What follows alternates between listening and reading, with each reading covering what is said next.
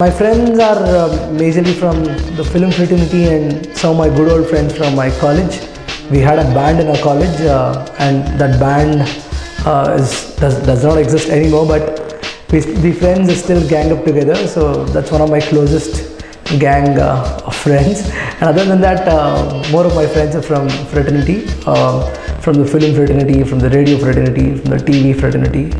Um, so I have a lot of friends uh, who work in TV, radio, and other part, other other forms of media.